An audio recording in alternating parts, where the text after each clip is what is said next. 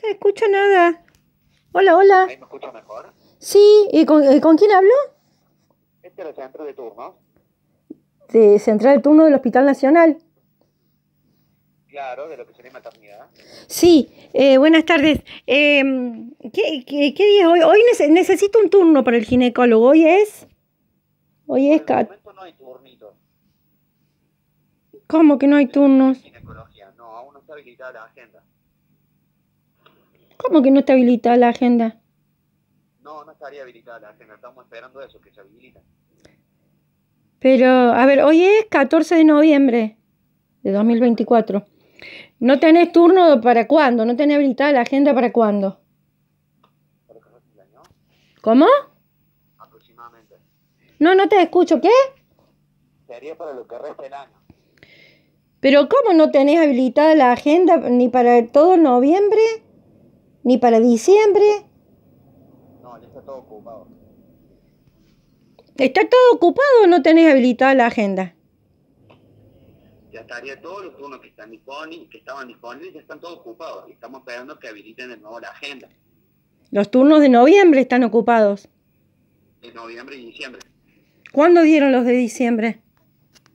Y a principio de mes. No, yo llamé ayer y me dijeron que no había turnos para diciembre y no sabían cuándo le iban a habilitar la agenda. Y por eso, Bueno, entonces no han dado los turnos de diciembre. No me mientas. Ya se han dado. No, no se han dado. Ayer me dijeron dos personas que no sabían cuándo le iban a habilitar la agenda para dar turnos de diciembre.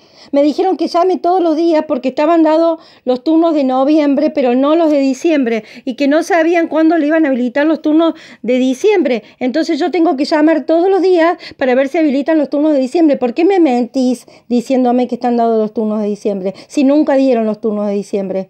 ¿Te puso este gobierno a vos? ¿Estás puesto por Javier Milei? Sí, ¿Te puso este gobierno Javier Milei? ¿Entraste en, e- ¿Entraste en esta gestión o es un chiste? sí, entré en esa gestión. ¿Pero me estás cargando?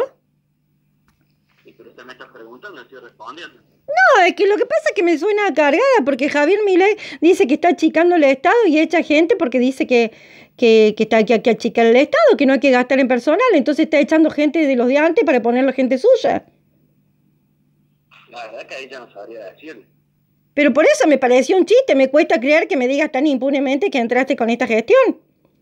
Porque según él, no tenemos ni turno en los hospitales, eh, no tenemos nada, ni subsidio al transporte, eh, quitó los beneficios de discapacidad, quitó todo, porque según él está achicando el Estado, y hay que ahorrar, y no quiere personal, despide gente a mansalva, y vos me estás diciendo que entraste con este gobierno, o sea, me cuesta creer, es un corrupto entonces.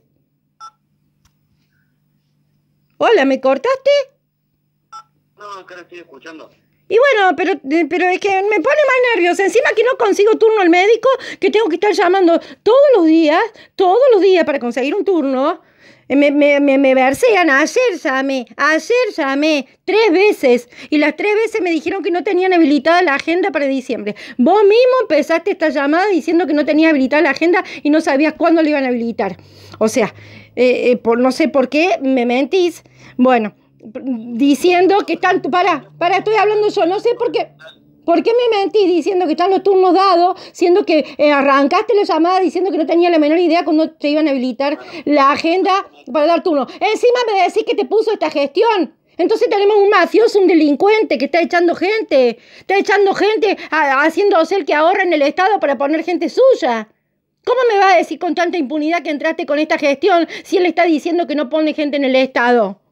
Es un ladrón, un corrupto, nos cobra impuestos, nos cobra IVA, hasta a los discapacitados le cobra IVA, a los, a los discapacitados están exentos de pagar IVA. Cállate que estoy hablando yo, y si no llama vos. Estoy hablando yo y me vas a escuchar. Hasta los discapacitados le cobra IVA, siendo que por ley están exentos de pagar IVA. Y no, no, y a cambio, a cambio del IVA que pagamos sobre la polenta, el arroz, lo que sea, no nos da ni un miserable turno.